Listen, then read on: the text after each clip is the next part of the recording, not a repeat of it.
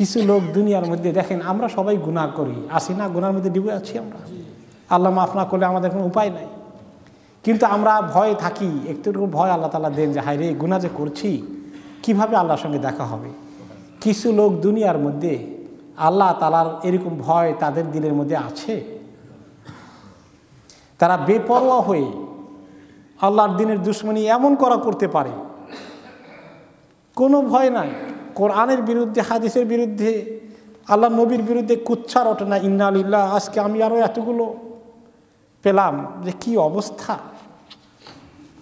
আপনারা যদি এগুলো দেখেন আর শুনেন আর পড়েন, এই ব্লগের মধ্যে যা লেখা হয়েছে আজ কয়েক বছর থেকে, এগুলো সব ইতিহাস আছে, তারিখ আছে, ব্লগের মধ্যে দলিল আছে, প্রমাণ আছে। কীভাবে আল্লাহ নবী সাল্লাহ সাল্লামকে কটাক্ষ করে, আক্রমণ করে, এত মারাত্মক কথা বলেছে? ইন্না আলিল্লাহ পড়লে সমস্ত শরীরের পশম শেহরে ওঠে। আল্লাহ তালাকে এমনভাবে আল্লাহকে লাগছে আইল্লা। সরেয়া, লয়জফারা আকার, আইল্লা। জালিমরা আল্লাহকে এমনভাবে কটাক্ষ করেছেন আল্লাহ নবীকে সাহাবিদিকে মায়েশার জীবন নিয়ে যা লেখছেন।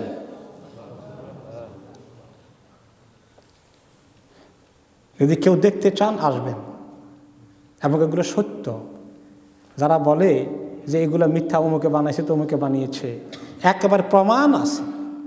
কবে কবে কীভাবে গোপনে গোপনে এগুলো ছড়িয়ে ছিটিয়ে বাংলাদেশের মধ্যে এত দুশ্মনী হয়েছে আল্লাহ নবীর ব্যাপারে পৃথিবীতে কোনো জায়গায় হয় নাই, কোনো দেশে হয় নাই।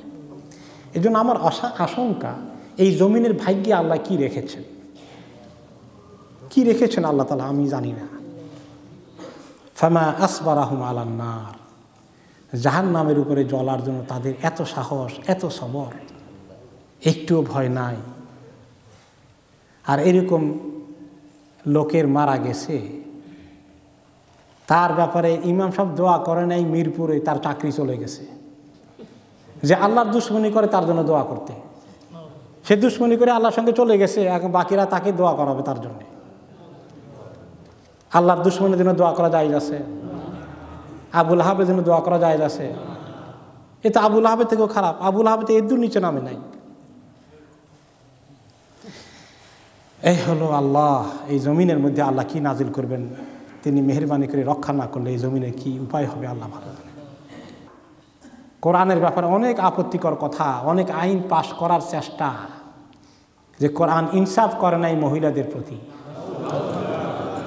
কেন পিতা মৃত্যুর পরে তাকে কন্যাকে অর্ধেক সম্পদ দিতে বলেছে আর ছেলেদেরকে ডবল দিতে হবে। কাজে কোরআন ইনসাফ করে নাই, কোরআন তাদের কাছে কষ্টের কারণ হয়ে গেছে। কিন্তু আল্লাহ তালা বলছেন যা লিখা বিআল্লাহ নাজ্জাল কিতাব আবিল হক আল্লাহ তালা এই কিতাবকে হক সহকারে নাজিল করেন নাই? প্রত্যেকটি কথা কি হক নয়